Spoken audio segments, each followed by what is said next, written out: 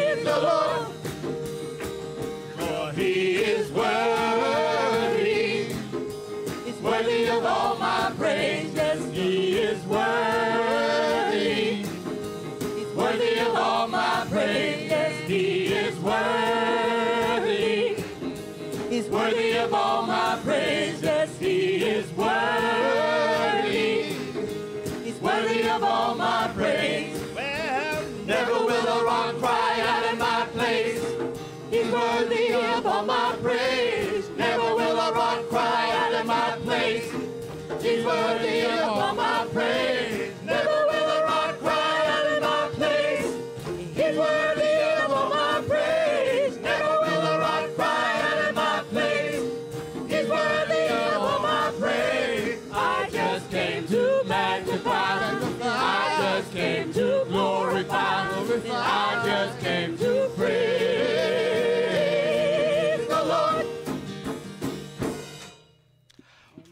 Gracious and merciful God, we praise you on this day when we don't know if it's going to rain or sleet or snow, but we know that you're God of all creation. And today, may you pour out your Holy Spirit upon us as we praise you. We praise you for all that you are and all that you make it possible for us to be as well. And all God's people said, Amen. Would you join us for our gathering call today? I invite you to respond in the bold in English. Try your hand at Spanish too, if you'd like. Isaac, will you lead us? Mm-hmm.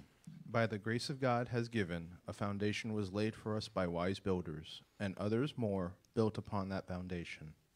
And now it is our time to build upon these foundations laid before and for us. Y ahora es nuestro momento de construir sobre estos cimientos establecidos antes y para nosotros.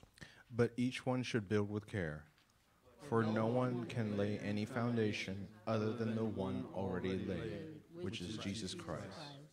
Porque nadie puede poner otro fundamento que el que ya está puesto, y cuál el Jesucristo. If anyone builds on this foundation using gold, silver, costly stones, wood, hay, or straw, their work will be tested and shown for what it is, because the day will bring it to light. Su obra será aprobada y mostrada por lo que es, porque el día la sacará a la luz. Though now for a little while you may have had to suffer grief in all kinds of trials, there have come so that the proven geniusness of your faith, Estos han venido para que la probada aut- autenticidad de vuestra fe, of greater worth than gold, which perishes even though refined by fire, may may result in praise, glory, and honor when Jesus Christ is revealed. Puede resultar en alabanza, gloria y honor cuando Jesucristo sea revelado. Don't you know that you yourselves are God's temple and that God's Spirit dwells in your midst? Though you have not seen him, we, love him. Lo amamos. And even though you do not see him now, we, We believe, in him. Nosotros creemos en Él. So let us all be filled with an inexpressible and glorious joy. Llenémonos, pues, todos de un gozo inviable y glorioso. May God bless this reading and the hearing of the Holy Scriptures as we continue in worship today.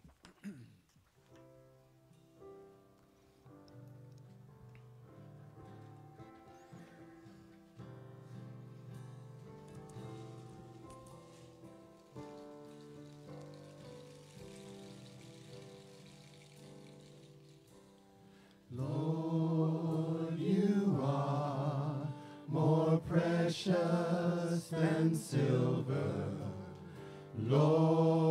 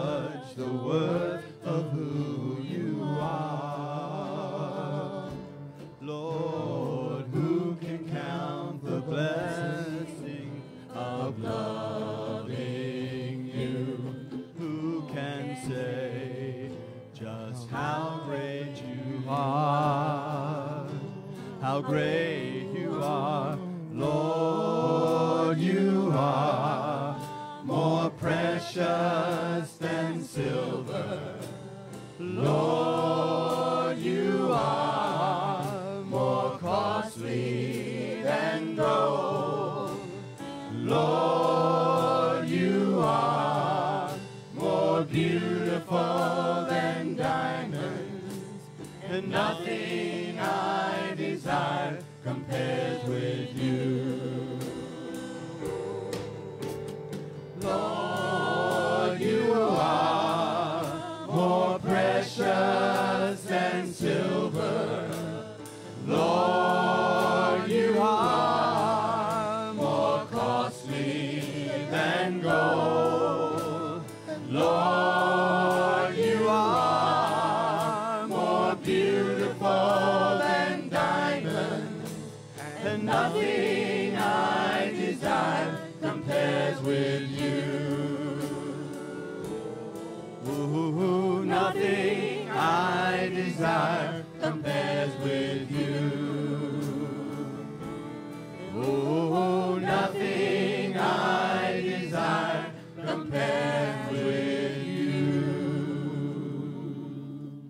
Again, welcome to worship here at New Life Metropolitan Community Church on this almost mid January Sunday morning. No matter who you are, how you self identify, we're delighted to have you join us for worship today, whether you're here on site or whether you're joining us on Facebook Live or whether you're watching us later in the week. You can do all of those or all three of those if you can't just get enough. Can I hear amen to that? Amen. Yeah, I knew you'd get there. Before you sit down, look over your mask and do your eyebrows up and down or do that queen wave so somebody around you knows who you are and just say good morning to someone around you. You may be seated for just a moment. If you'll excuse me for one quick second, I knew if I did not do that, some of the queens among us would just go nuts throughout the service today, namely me in that regard. Couple of things to make you aware of as we go into this week. You should have gotten two pieces of paper when you came in. One's the order of worship with the songs. The other has the scripture page and the communion liturgy, and on the back is what's happening at New Life MCC. A couple of things to make us aware of. These were also uh, uploaded to Facebook. They're also in your email from last night as well. Uh, our board of directors had their first January meeting of the year, and I'm pleased to announce our new officers on the board. Of course, the pastor serves as moderator, Joy Gibbon continuing as vice moderator, Jennifer Hughes continuing as clerk, uh, Shelley Lee Knight as assistant clerk. Uh, we, as much as we are hating to see Chris leave, but it's his time to rotate off the board. We're delighted to have John Cieda serving as treasurer. Can I hear amen to that? Amen. And Rodney Suter, who just walked in the back to, as assistant treasurer. Thank you to John and Rodney. Two of the most labor intensive positions on the board. So let's pray for our board of directors. We have an exciting year, hopefully, planned. We, yes, we've got challenges as we're going through the pandemic and the COVID, but so much things, so many things that God has continued to bless us with. Also, this week on Tuesday at 6 p.m., our Discovery and Conversation group on racism continues. If you haven't joined in any of those, don't feel like that you can't. You can at any time. That's a Zoom link. We'll send that Zoom link out uh, in email as well. Two weeks from today will be our quarterly congregational forum. This is sort of a year end forum because we'll hear finances from the 2021 and just take a look at where we are. Morocco, I saw you over here. You not this week you're not promoting meals to go. That was last week. This week you are coordinating our efforts around the fundraiser around the super bowl. So you want to tell us a little bit about what needs what we need to know? Grab saunders mic so this is a, a an opportunity for folks to help the church but also possibly win something yourself. Yeah good morning church. So um, we've done this for several years, so uh, most of you know that there's a Super Bowl coming up in a few weeks, and uh, every year we've been doing a, a, raffle, a fundraiser for the church, and uh, the way it works is um, we have a grid here with a hundred square with a hundred squares on it. Uh, and for two dollars, you can buy a square. And uh, once we sell all of the squares, I'll be I'll be Vanna. He'll be, he'll be Vanna. So once we sell all the squares in here for $2 a piece, we will then fill in, uh, randomly select 0 through 9 across the top for the AFC team and 0 through 9 on the, down, down the uh, side for the NFC teams. And then um, if you buy a square, at the end of the game, if the NFC team scores like 33 points and the AFC team scores 22 points, if you have the square that has the 3 and the 2 for the AFC and AFC, so the, the last digit in the score of the team matches your square numbers, then you win the prize. So it's a fit, we call it a 50-50 raffle. So there's $200 if we sell all the squares. $100 goes to the church, and $100 goes to the winner. Uh, we're going to have two, two, uh, uh, what do you, two, streets? two, two grids. Thank you for that word. Two grids, so we have plenty of opportunity to buy. And we're also doing this, uh, you can buy them in person. Um, I'll be selling squares after church today. And we also, uh, uh because of COVID, we're going to be, uh, Joy is set up where we can buy uh, On squares online. Giving page, yes. So it's, a, it's the giving page and the events, and then you can register and pay. And if you buy your, your uh, squares online, I'll just go in and just fill in the blocks for how, as many uh, squares as you buy. So please, um, they go, you can see from our square already. We're going, tickets are going fast, so uh, don't miss out, and uh, please buy your, buy your tickets. Thank you. Thank you. You're welcome.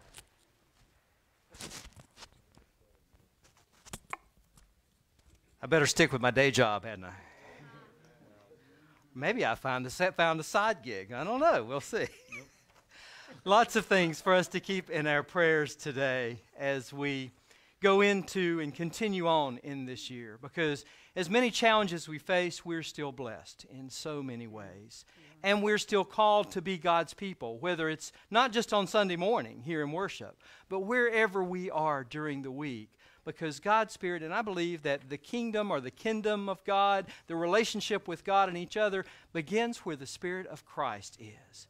And we believe that God's Spirit lives in us, in me and in you. So wherever we are together, we know, and we, I say this a lot, God is where? Behind us, beside of us, but also ahead of us in this journey. Would you rise as you're able as we continue in worship today? I'm going to invite uh, Ken and James and Scott to come and share with us excerpts from Martin Luther King's 1964 acceptance speech for the Nobel Peace Prize.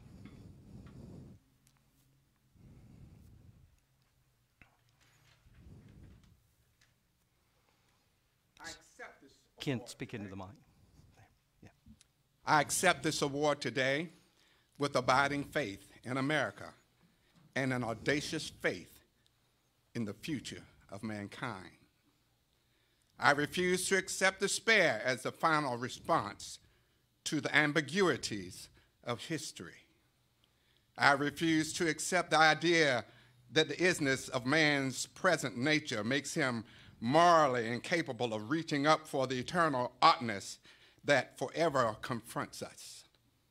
I refuse to accept the idea that man is mere flotsam and jetsam in the river of life, unable to influence the unfolding events which, which surrounds him.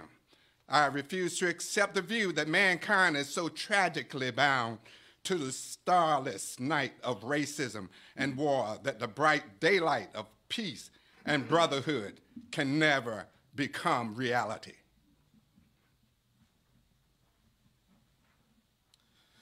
I refuse to accept the cynical notion that nation after nation must spiral down a militaristic stair- stairway into the hell of thermonuclear destruction. I believe the unarmed truth of unconditional love will have the final word in reality. This is why right, this is why right, temporarily defeated, is stronger than evil, triumphant. I believe that even amid today's mortal bursts and whining bullets, there is still hope for a brighter tomorrow. I believe that wounded justice lying prostrate on the blood flowing streets of our nations can be lifted from the dust and shame to reign supreme among the children of men. I have the audacity to believe that people everywhere can have three meals a day for their bodies, education and culture for their minds and dignity, equality and freedom for their spirits. I believe that what self centered men have torn down, men other centered can build up. I still believe that one day mankind will bow before the altars of God and be crowned triumphant over war and bloodshed, and nonviolent redemptive good will proclaim the rule of the land. And the lion and the lamb shall lie down together, and every man shall sit under his own vine and fig tree, and none shall be, shall be afraid. I still believe that we shall overcome.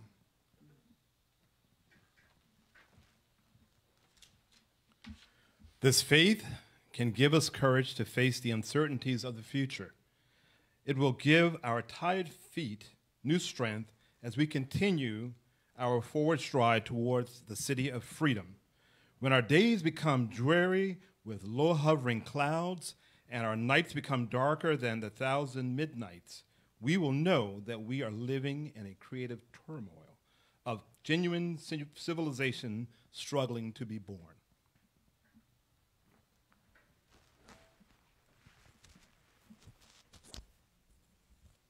As we think about these words that were spoken 1964, how applicable they still are today.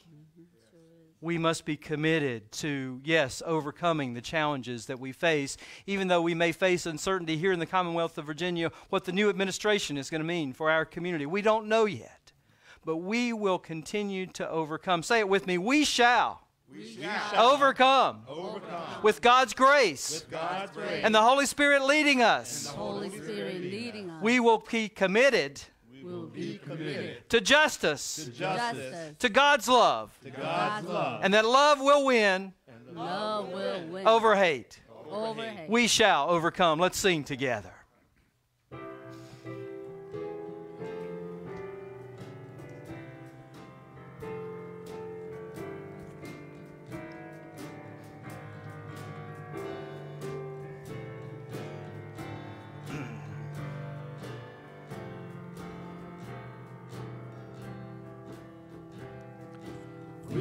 Shall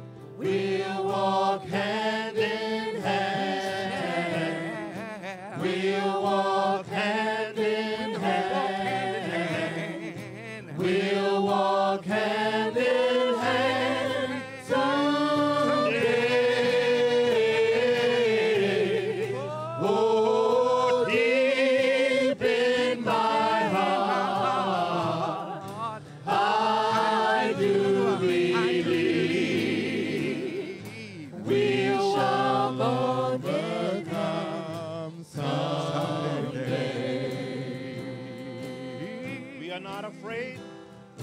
We are not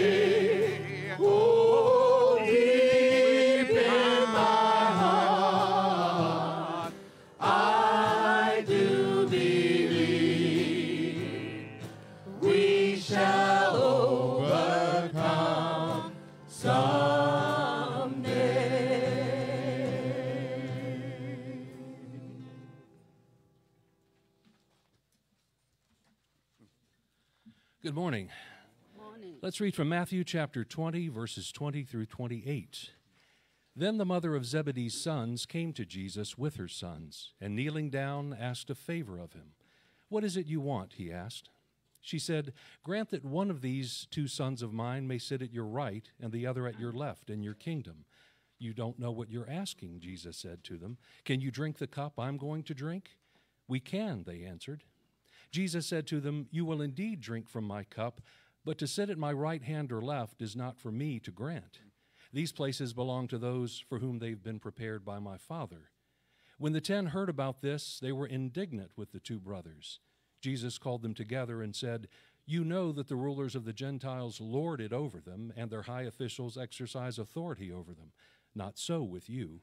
Instead, whoever wants to become great amongst you must be your servant, and whoever wants to be first must be your slave, just as the Son of Man did not come to be served, but to serve and to give his life as a ransom for many.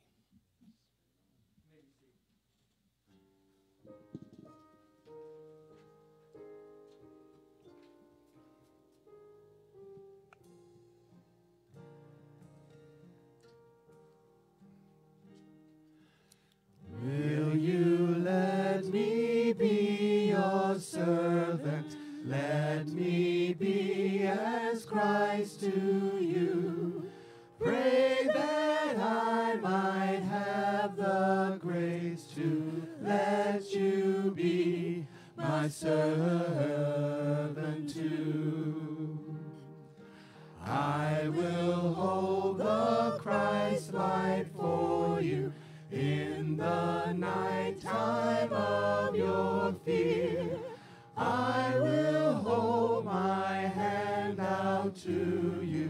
speak the peace you long to hear. Brother, sister, let me serve you. Let me be as Christ to you. Pray that I may have the grace to let you be my servant too.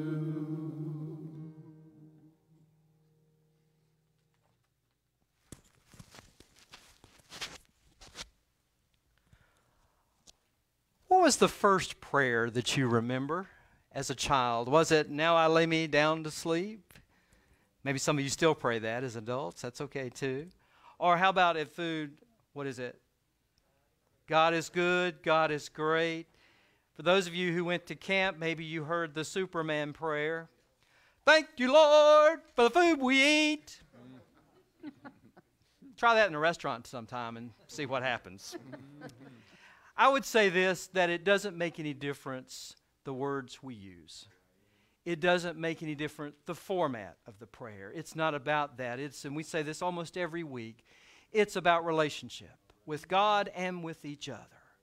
And in our prayer times, we want to lift up a number of things. I think most of you are aware that Rhonda Thorne's mom passed uh, this week. So keep Rhonda and Christine and their family in our prayers. Uh, let's continue to keep Jane Robinson in our prayers. Uh, she is in rehab over in Hampton, so and does uh, is receiving visitors. Uh, Donnie was with us last week, Donnie Durst, um, and is now in a nursing convalescent center in Hampton as well. I understand he can have visitors from 8 until 8 p.m., so let's continue to keep Donnie in our prayers. Odessa Johnson is in the hospital undergoing tests. Let's remember Odessa. And after worship today, uh, if you want to send a video message, Jeff will be doing that uh, to some of our folks uh, in my office. And just a brief word of just saying hello, letting folks know you're thinking about them. I encourage you to stay a little bit afterwards if you can do that. Most of all, throughout this week, not only today, but let's remember each other. And let's remember others that we know are hurting. And we may say, oh, woe is me. I've got so much stress going on in my life. But you know what? A lot of other folks do too. And there's a lot of sickness, there's a lot of anxiety, there's a lot of stress about jobs, about finances, about relationships. Oh, Lord, our Lord, how do we hold all of it in both hands? You know what? We don't have to because God is holding us as we hold each other. Would you pray with me? Gracious and merciful God, creator of us all, hold us in this moment. For those who are hurting and grieving, may your Holy Spirit of comfort and peace and strength give us the wherewithal we need. Sometimes we can't see beyond the day because of our grief is so strong. May we lean on you. Hold us as we hold each other. For those of us who need healing, may it be physical, may it be emotional, intellectual, spiritual healing, all of that wrapped into one, make us whole, oh God. In this moment, we lift up in our hearts all those who are struggling financially or have other stresses in their lives, whether it's at work, at school, or just in general. Because we claim this moment that you are our God. As we claim your presence, we also claim your promises. Promises for the hope that gets us through all the challenges that we may face in any given day, and even those unknown challenges that are there that are yet to come. May we not be afraid. may we have the peace and the strength, the courage as we place our faith and trust in you anew this day. Give us that new life that leads us forward. And even when we step in it, give us the wherewithal to know how to step out of it. We just praise you, O oh God, for all that you are and all that you make it possible, not only for us to be individually, but for us to be together in this place that we call new life. And we ask that you would give us the insight, the ability to be in touch with the faith that you've already given us, so that we can indeed be your people as you have called us to be now and in the days ahead. And all God's people said, Amen. Amen.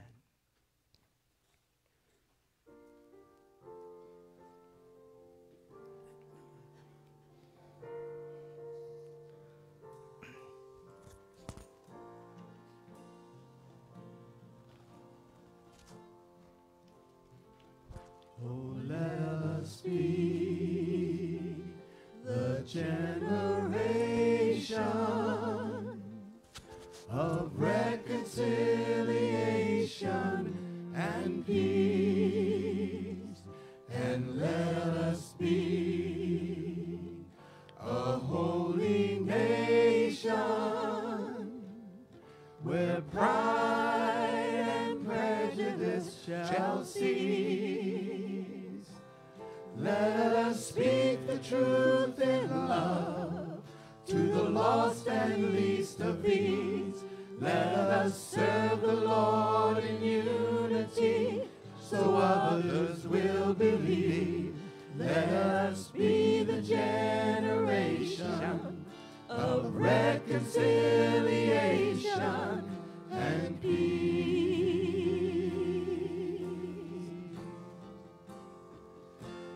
Let us be the generation of reconciliation and peace, and let us build on one foundation till he comes and the wars of all shall cease. Let us share the love of Jesus without hypocrisy. Let mercy and forgiveness begin with you and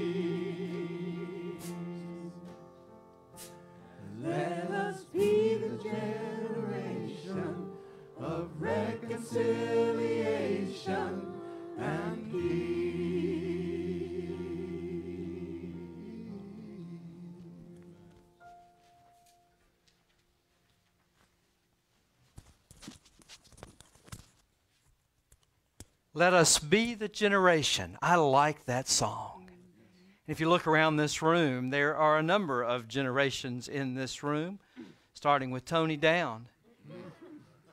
And some of us younger folks, but it's not about that, is it?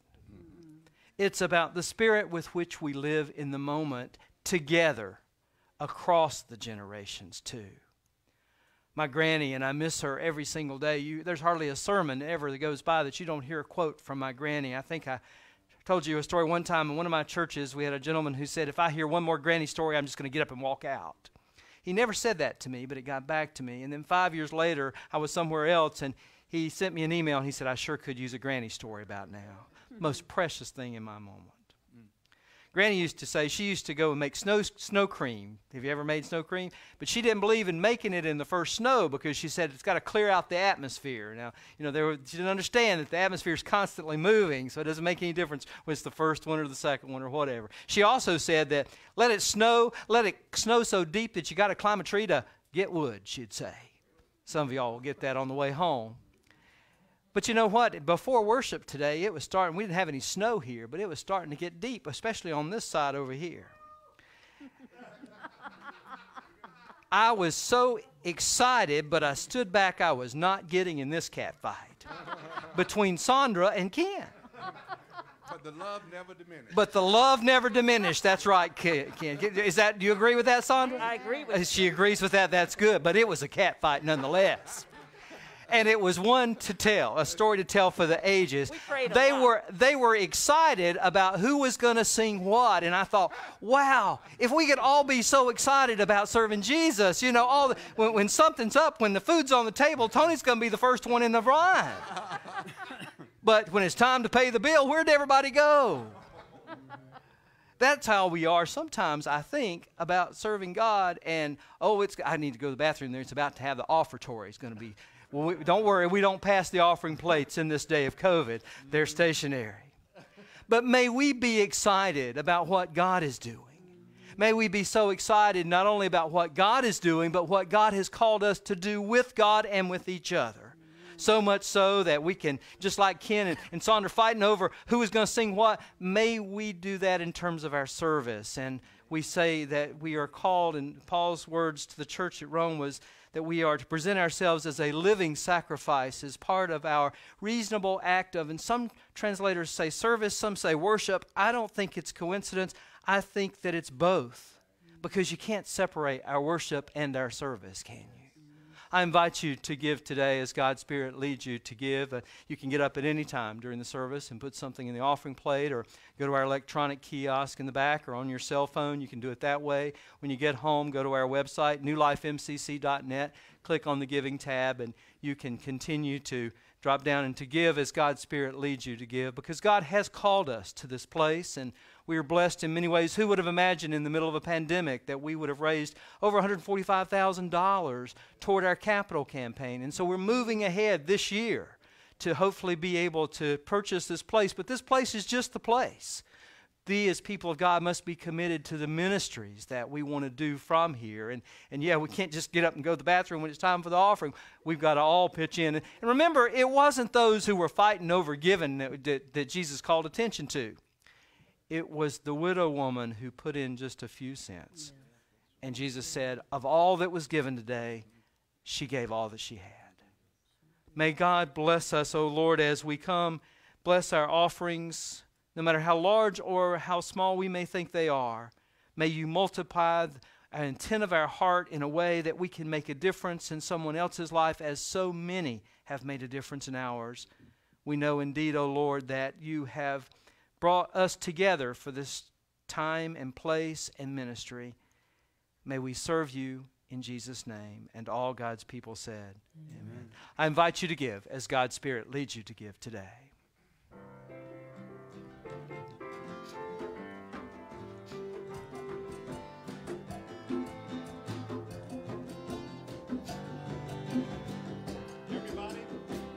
Everybody's got something to offer young and old, the prince and the pauper. Everybody's got something to offer in the name of the Lord.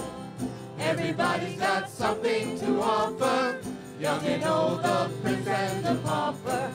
Everybody's got something to offer in the name of the Lord. To the Lord and lonely ones, the message it is clear. We have all got a gift to give, our hands, our hearts, our tears. Everybody's got something to offer, young and old, the prince and the pauper. Everybody's got something to offer in the name of the Lord. To the believers gathered here, the message it is true. We have all got a gift to give in all we say and do. Everybody's got something to offer, young and old, the prince and the pauper. Everybody's got something to offer in the name of the Lord. Everybody's got something to offer,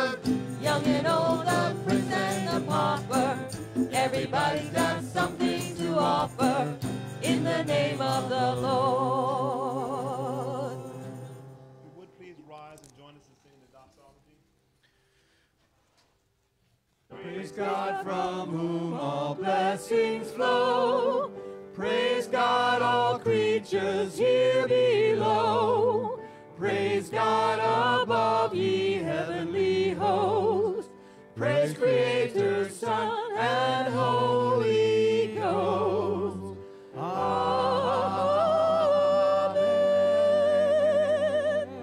Most gracious God, we do indeed offer our thanks today for the gift that you bestowed upon this church. God, please allow us to use these gifts to give you glory in all that we do. Amen. You may be seated.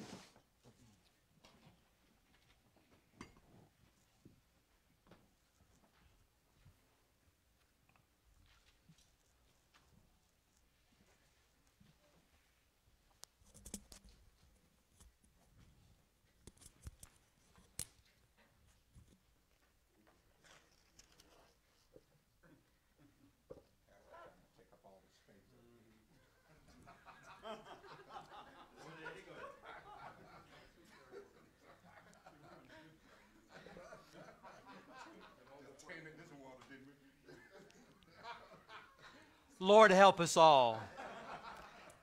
For those of you at home who may not have heard that, uh, there's something here. So Ken and Rich, who usually sit here, had to move to this side. It's still to be determined which is the good side or the bad side today. So if you'd like to get up and move to the good side, you may feel free to do that. that said, what did you dream about last night? Don't share it, just think about it. Did you dream last night? You did. Do you remember what you dreamed about last night? We don't always do that. Granny used to always say that you should take our dreams opposite. Now, I don't know if that's true or not, and there's so many different ways of dream interpretation and cultures, and people have thought through the years. In the Bible, we know that those in those early ancient years, they, they had Joseph, for example. He was a great dreamer growing up. But his dreams got him in trouble when he shared his dreams that his brothers were all going to bow down to, to him and the way he interpreted that. And of course, we know that Joseph was a little spoiled and he was his dad's favorite. And you remember that wonderful Technicolor coat that he had? Dream coat. You see, it fits the theme just perfect, doesn't it? I didn't plan that. Later, he grew up and he realized, I think, that he needed to be a little more mature in that.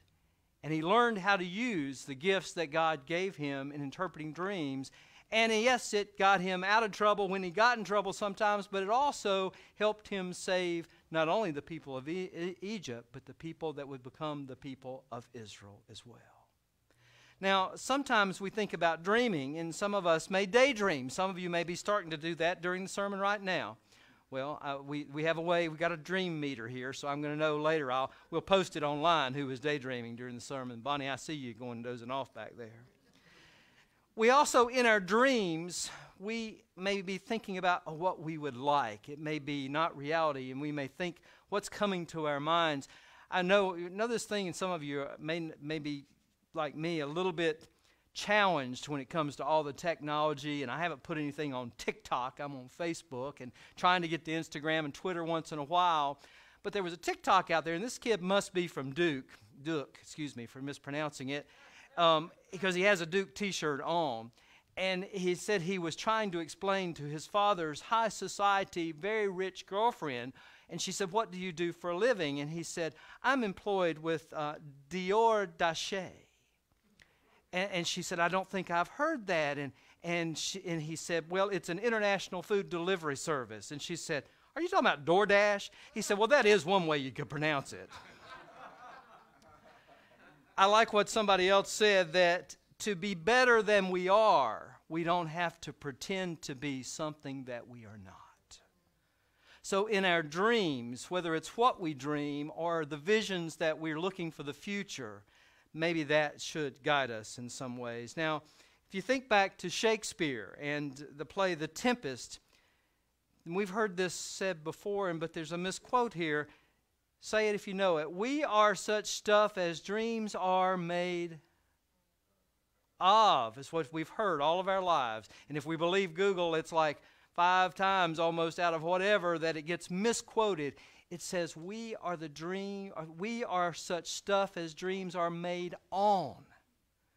Now, is there a difference between dreams made on and the actual line goes this way We are such stuff as dreams are made on, and our little life is rounded with sleep.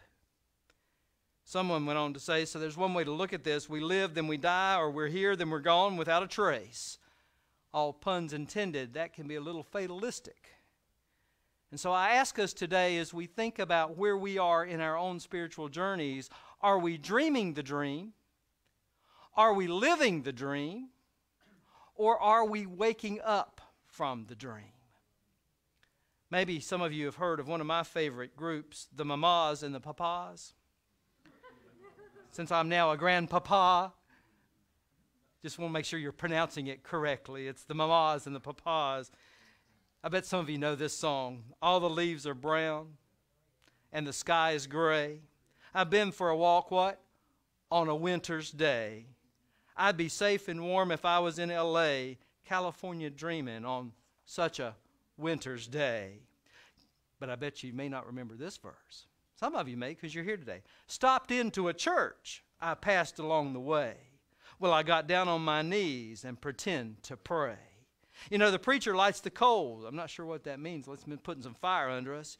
He knows I'm going to stay. California dreaming where? On a, say it with me, on a winter's day.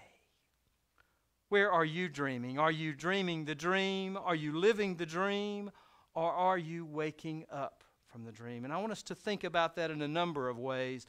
When we were home over Christmas, my cousin Kenneth asked me if I dream and if I dream a lot, and he suffers from sleep apnea. Now, when I answered yes and a lot, my mom misheard him. She thought he said, Do you drink and do you drink a lot? And so I'm saying yes, a lot. And my mom's going, Really? Well, he said, Dream. And they do tell me that those of us who suffer perhaps from sleep apnea, we may not recall, it's not that you don't dream, but we may not recall those dreams as vividly because we're not spending as much time in that deep sleep level where we're allowed to dream. Now, there are two reasons today that I'm using this dream thing. One, it is MLK weekend, Martin Luther King weekend, and one of his most famous speeches was what? I have a dream. If you ask people across this land, what was his most famous? That's the one we almost always go to. The second reason, though, is that in the passage of Scripture that we have not read yet is one that's very familiar. It's probably the most famous miracle that Jesus performed. And I know some of you, and some of you are going to say, Yeah, I can remember when Jesus turned water to wine. That was a good one. And some of you know why you think that too. Frederick Buechner suggests that if we think of this account of the wedding in Cana of Galilee like a dream. Now, don't hear me, mishear me here. I'm not saying or suggesting this didn't happen, but Buechner is saying, let's think about it like a dream because when we think about how we dream, well, there's going to be mystery there. There's we're looking for some meaning for something that's underneath there. And when we wake up from that dream, what's the most powerful thing we remember from that dream? I've been preaching this sermon, I hate to admit it, Tony for nigh on 40 years. The first time I heard it and remembered hearing it was in a Baptist church back home, and it was a hellfire and brimstone sermon. And the point of the sermon was good Baptists don't drink. I'm sort of ashamed of how what happened when I went to seminary and learned a little bit of Greek, enough to get myself in trouble, and was invited back to that church. It was my home church. And I did something I probably it felt so right at the time I wouldn't do again kind of thing. I preached that passage and I refuted every single thing that the pastor said in his church with him on the front row. Ouch. Because my point was that if it wasn't real wine that Jesus made, what are we saying about the power of God? The power in our God and to, to help us through those challenging times, but also in those times of celebration and joy. This was a wedding, after all. Now, I know for some of us who've been married for so long, well, maybe that wedding ain't so, so exciting and joyful as it used to be but it should be. I say at every wedding, this is a day that the Lord has made. Let us what? Rejoice and be glad in it. But in some ways, weddings are sort of compression moment. Reverend Elder Arlene Ackerman was a big fan of compression work, meaning that she did a lot of work on a weekend when she'd come to work to a church. Dreams are sort of like that too. Weddings are sort of like that too. It's not that it's your entire life, but a lot of those emotions get packed into that moment. There's laughter at weddings, there's tears of joy, and lots of times there's sentimental tears. It's not those deep down things that we may have to do later. Frederick Buechner, that I mentioned earlier, said this Beyond the mystery of what it means, talking about a dream and talking about this passage from the wedding in Cana of Galilee, detail by detail, level beneath level, maybe the most important part of a dream is the part that stays with you. And I said this a moment ago when you wake up. Buechner says also, I think that what we carry from it is most powerfully and simply a feeling of joy. And he says, a wedding that almost flopped except for this strange, stern guest, talking about guess who, worked a miracle, and it turned out to be the best wedding of all. Do you remember that story? It's on your scripture page, where on the third day there was a wedding in Cana of Galilee, we're told that Mary, the mother of Jesus, was there, and Jesus and his disciples were invited too. And Mary comes to him and she says they're out of wine. Now, we'll get to that part in a moment, but if we think about where was this Cana of Galilee? Some folks say it was four miles, some people say it was nine miles from Nazareth, so it was within walking distance, I guess, for some of us that are inclined to drive everywhere. Me. But who was with Jesus? Well, earlier on, we're not sure it was all the disciples, but if we just take John's gospel, for example, we know there was an unnamed disciple. There was Simon Peter, there was Andrew, there was Philip, and Nathaniel. Guess where Nathaniel was from? Cana. Was this somebody that they knew? Was it was they were they invited by Nathaniel, or was it somebody that Mary knew, or perhaps they were even related to? You know, back home in the mountains, we are definitely, aren't we, James? We're related to everybody up there. You laugh, but your mama's married to your daddy, and your aunt and your uncle, and your uncle to your uncle, other uncle, and all this sort of stuff. And it gets convoluted sometimes. But in these small communities, no doubt if they weren't related to each other, they knew each other. And some of how many of you grew up in a small town? Not only do you know everybody, you're probably related to somebody, but even if you don't know them or aren't related, you know everything that goes on. Especially now with Facebook, right? And Twitter and all that good stuff. So that's what we know about this place. And the Greek even implies that maybe Mary was there before Jesus, and you might make an assumption well, maybe she did have some connection, maybe she had some responsibility there. And, you know, a typical Jewish wedding was not just come to the church and look all pretty and, you know, do you, do you, I do, I do, and you're off on the honeymoon kind of thing. This was a whole, usually week, at least week long of festivities and activities, and people would come. And sometimes, because there'd be so many people coming, people would be expected to bring food and even some wine to help out with everything. And it was a legal contract. So there were social implications, there were embarrassing kind of implications, but there were also perhaps some legal ramifications for running out of wine. One theologian suggests that there's also an underlying issue of justice. And you're thinking, really? How could risk running out of wine at a wedding? But remember, this is an arid land. Some of you are old enough, not me, but some of you are old enough to remember Woodstock. I'm not even sure I'm going to ask if any of you were at Woodstock. But can you imagine? Jim, were you at Woodstock? Oh my goodness, Jim, you'll have to tell us some stories.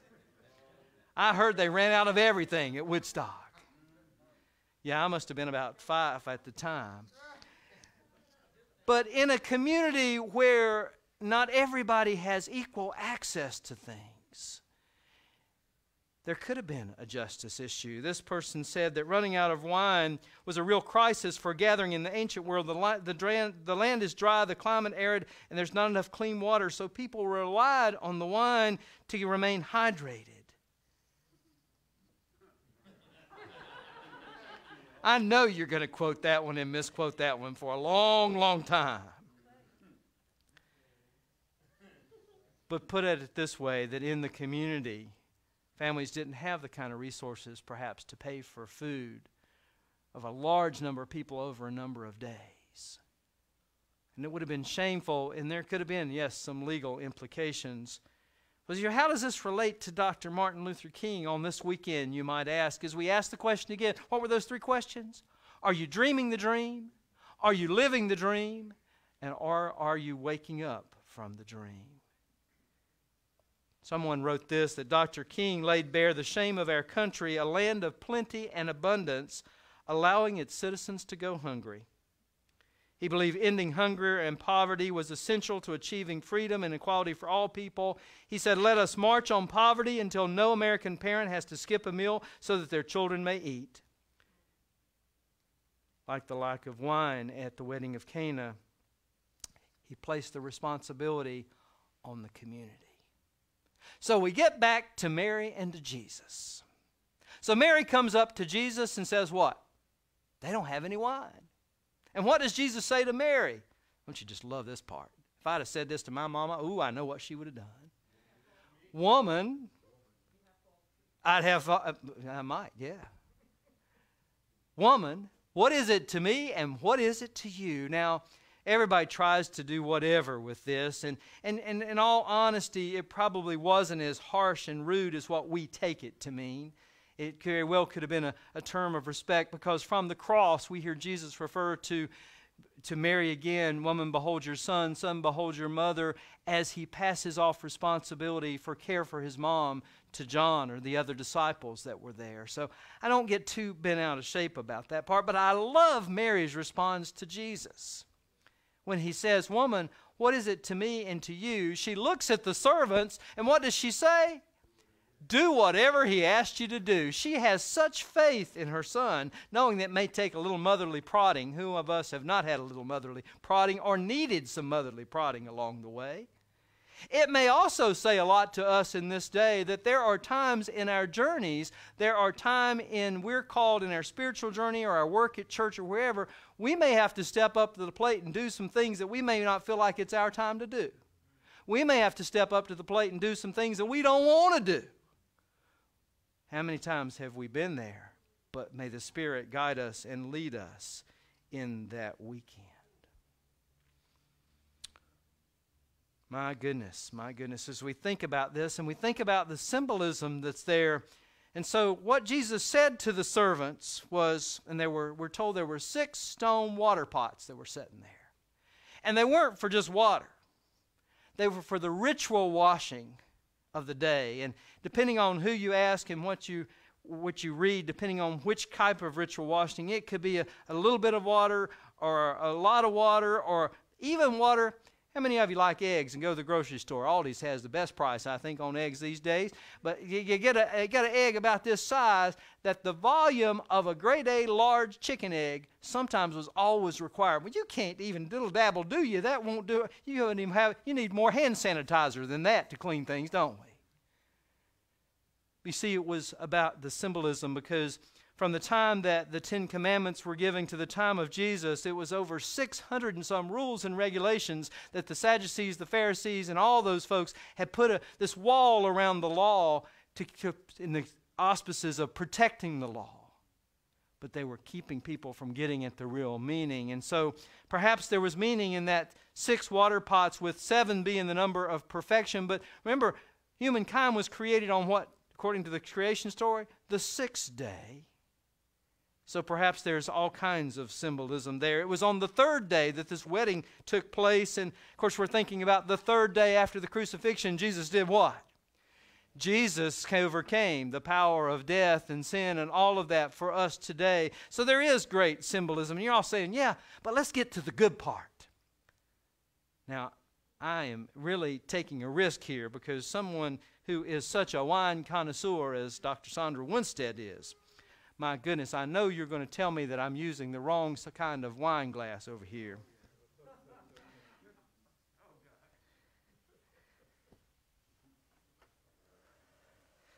So there were six stone water pots. I don't have one large. This is about a gallon. Each of those water pots were big enough to hold 20 to 30 gallons. This is a gallon. Now, I don't know if this is water or might be a little moonshine from back home. I don't know. Just to prove it, this will hold a gallon. So if you think about that, 30 gallons times 6 is how much? 180. Do you have any idea how many, what 180 gallons of, of wine looks like? Sam and Jeff, can we put on the screen what that much wine can look like? That's two big pallets of wine there. That's about what we'd be talking about. There's one more picture, I think, too. If you go to Total Wine, you'll see it stacked up. All those one, two, three, four. That, that's a lot of wine. Now, I've got my Malin glass here. But you can't see through the Malin glass. And it's a little bit larger than the other glass. But an average glass of wine, they say, what is about? What is it, Sandra? How many ounces? Five ounces. And a bottle of wine is about 750 milliliters, right? They tell me that if you take two Coke cans, that'll oh, that's 24 ounces. It's about 20, somewhere between 24 and 25 ounces in a, a wine bottle. Now, for some of you that really need a little bit more, you could get the double that, the magnum size over here.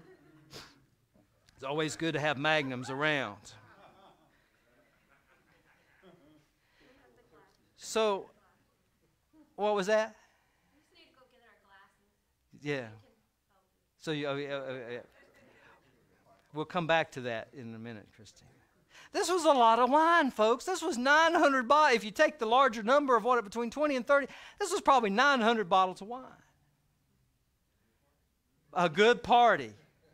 And you know, so one theologian said, you know, that's the point. Jesus didn't just do it to show his glory. Jesus did this in the middle of the relationships that were there for people who were celebrating. Jesus was celebrating with them.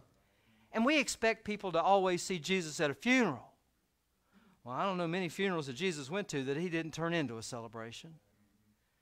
He does the same thing for you and I. I love, I've been, as I said, I've been talking about this this passage of Scripture for about 40 some years, and I, Granny used to have a great big churn jar, but all I've got is this little gallon thing here. Hmm. You'll be wondering all day whether that's water or moonshine, one or the other. Now, let's go back for one quick thing. Who knew what was going on? The steward of the banquet came and they drew some out, and he said, Oh my goodness, this is great. But the scripture tells us he didn't know what was going on.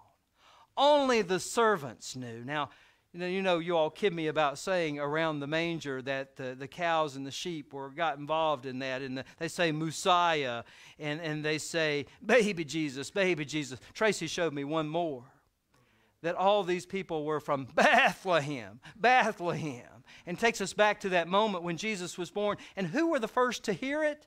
The shepherds the lowly shepherds and the servants were the one to hear. And here in this moment, Jesus is doing what we remember as one of the most powerful miracles of his times. And who knows? Only the servants. One theologian said this that it is the poor who are privy to the angel revelations. Those at the bottom really know what's going on, for they bear the consequences of communal justice, injustice.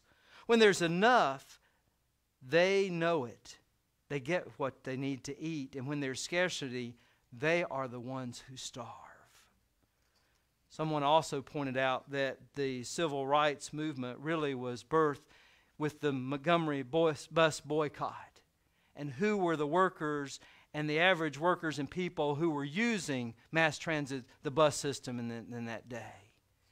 And yet it was their efforts that led to legislation that would eventually be passed that would outlaw segregation. So let us, you and I, if we hear nothing else, as we think about are we dreaming the dream? Are we living the dream? Are we waking up from the dream? Because you and I need to wake up from whatever dream we thought we were living in because there's still injustice in this land. And we don't know. There's a lot of unknowns in this state of this Commonwealth of Virginia. There's a lot of unknowns of what's going to happen in the United States in the next. You and I need to wake up from that and to be able to see reality as we can. And let's not forget the the model that and the example that Jesus said. It wasn't just about showing his glory. It says that his disciples understood and saw his glory and they believed him. But one theologian said it this way, and I love this that here we see a glimpse of who Jesus really was. We see a glimpse of Jesus' heart, not his power in making the wine. Everybody can go to the wine store, go, go out somewhere down the road and buy a gallon of moonshine. If you're back home, you can. But not everybody has the heart of Jesus. May you and I find it in our lives in this journey as we think about what? Dreaming the dream, living the dream, and waking up from the dream. The heart of Jesus will guide us in so, so many ways.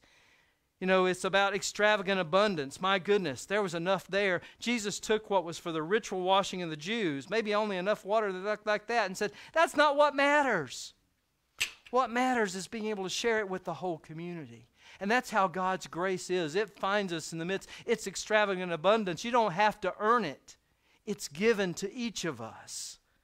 The question is will we partner with God not only to receive it, but also to share it? Now, maybe some of you think I'm a North Carolina mountain hick, and sometimes I may be. And my accent sort of gives me away once in a while, right, Tony and James? But once in a while, I'll read a little bit. You ever heard of Dostoevsky? Thank you for pronouncing it correctly. That was the Yankee versus the mountain way of saying it.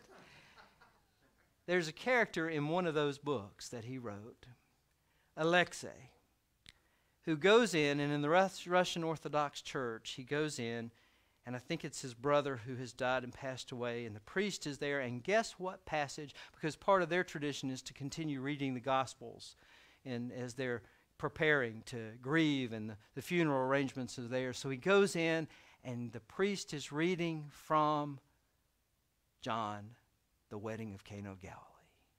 And he sort of falls asleep, like some of you have been doing, although you're wondering if I'm going to pass the wine here in a few moments. And when he wakes up, He's remembered part text that he's hearing and part of what he's dreamed. And then the dream was about realizing how blessed he was. So much so touched that he leaves the casket of his brother and goes out and kisses the earth and wants to just forgive everything. May the grace of God find us as we read these passages written so long ago, that that kind of extravagant abundance of God will take hold of you and me and do the same thing for us. Some years back, I gave folks here and at other churches, I've done this too, because somebody shared the story. You've heard this story before, is that in a lot of times when you go to a church meeting and you're getting ready to, to, to eat, after Tony's trying to be first in the line, they'll tell you, keep your fork. Why? Because the best is yet to come. I've given people at times a fork and said, you know, the best is yet to come. I didn't bring you a cup of wine today. Say, keep drinking because it never runs dry. God's love is never going to leave you. It's that thirst quenching kind of thing. But a story from that that I'll never forget some years, or maybe it was not even a year, maybe it was a month after giving folks in a congregation those purple forks at Easter, I was sitting in a hospital emergency room waiting room with a family whose daughter was about to pass. And the dad comes in and he reaches in his pocket and he pulls out that fork. And he looks at me and he said, I'm holding on my fork today because I don't know what else to hold on to. The best is yet to come. I don't know what challenges that you're facing right now. I don't know what challenges we're going to face tomorrow. But we are created by and we are partnering with a God who does, does hold tomorrow. And yes, that is a cliche, but it's real too. May we not only dream the dream, live the dream, but wake up from our dreams to not only see reality, but to be in this moment and to celebrate the hope that God gives us to meet whatever comes at us. Can I hear amen? amen. The Lord is with you. Lift up your hearts. Let us give thanks and praise. It is right indeed, O Lord, to give you thanks and praise. And so we lift our voices with all the saints and angels and proclaim your glory and unending praise as we praise together, saying,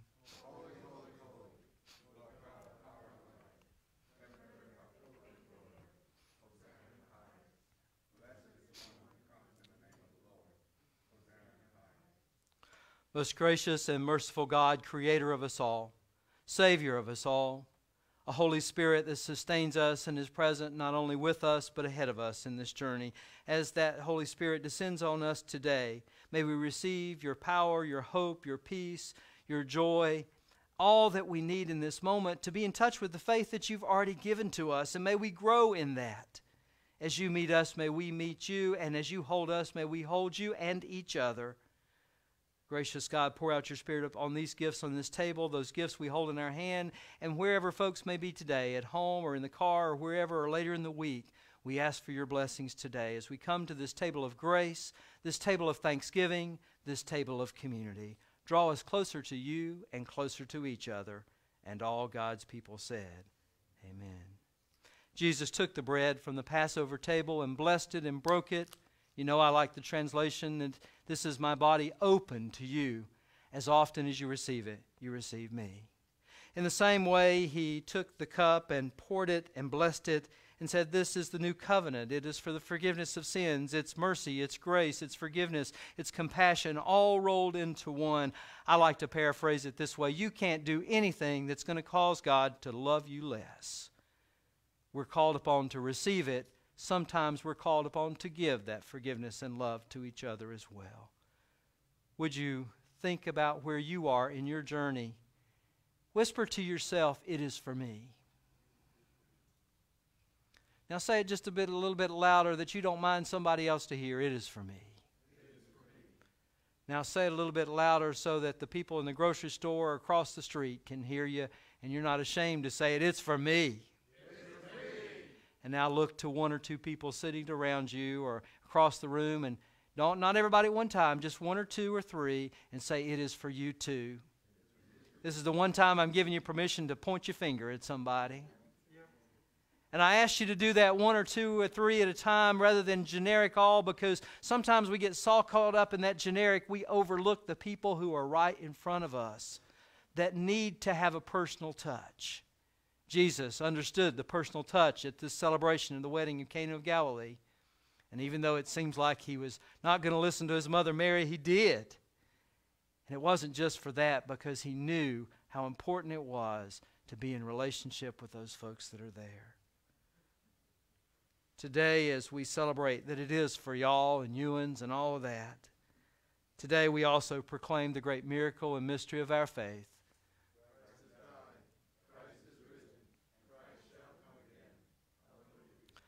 my brothers and sisters, children of God, all of us, as we receive today, may indeed you find us.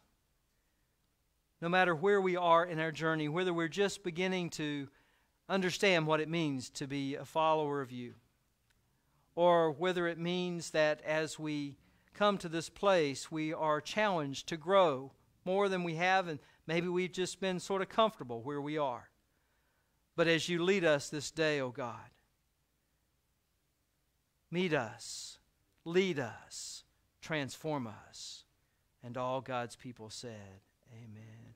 It makes no difference whether you're a member of this church or of any other. It's not about that. It's about celebrating God's love for you right where you are. So if you're at home today or if you're here, if you're at home, go get a cup of juice, a cup of water, doesn't matter what, a piece of bread, a piece of candy doesn't make any difference either.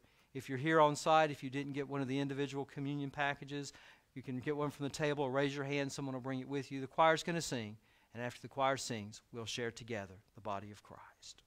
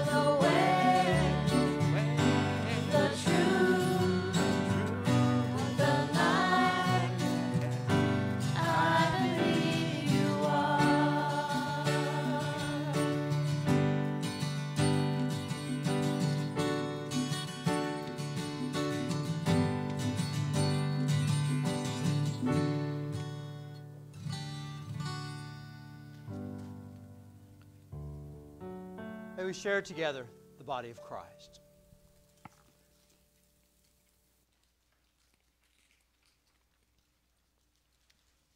The cup of salvation.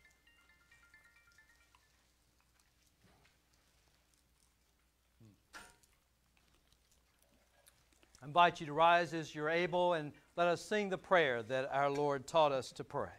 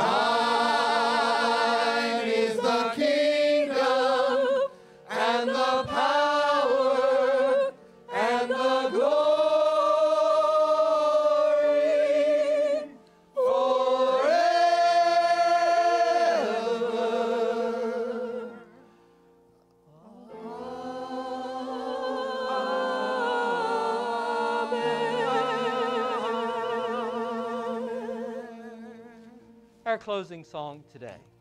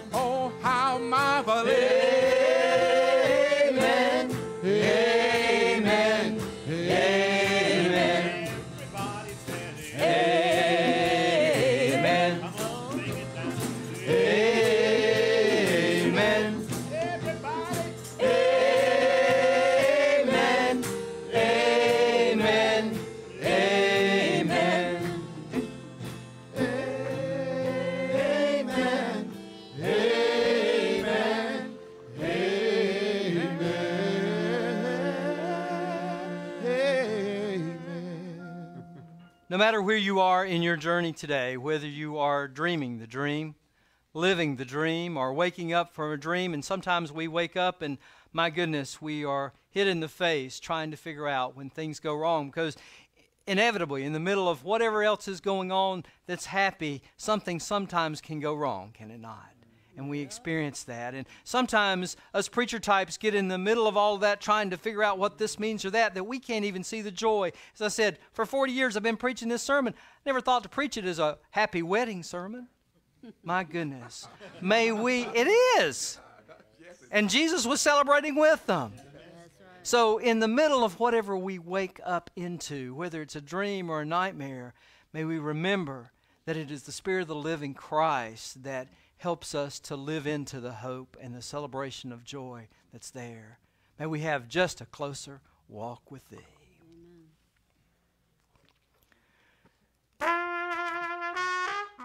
Oh, hold on, let's start that one again. See, so right in the middle of everything, something happens, doesn't it? A vowel sticks.